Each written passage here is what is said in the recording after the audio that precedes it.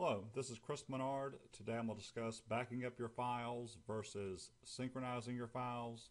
Backup is pretty straightforward. It's when you copy your data from usually your desktop or laptop and put it somewhere else, a flash drive or an external drive.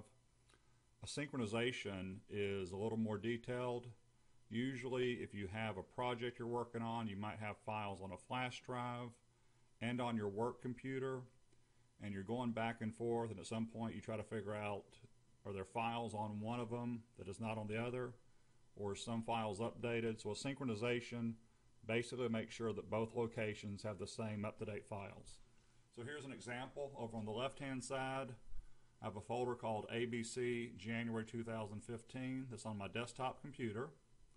And on my flash drive drive J I have the exact same folder only two files are in it so when I synchronize, I'm expecting emails, time, and vendor lists to move over to the flash drive. I'm expecting from the flash drive ABC project client list, this Excel file, to get moved over to my desktop folder.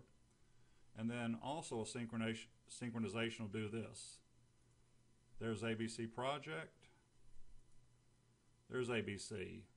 The ABC project on my flash drive is the last one that I worked on and I added this additional paragraph down here so it has more detail and it's also the most up to date so I need to synchronize and make sure it's on my desktop this way.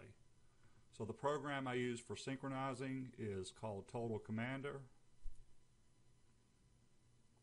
I already have my desktop folder ABC pulled up over on the left. There's my J drive. There's ABC. There are the two files.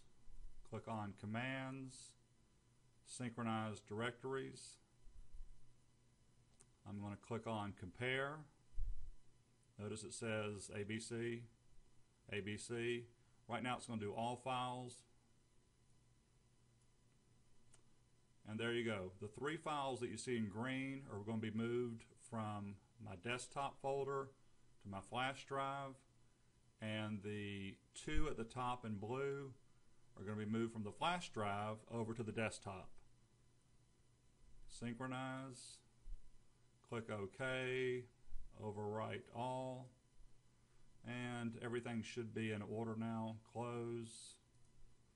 Looking back this at Windows, there's ABC Project.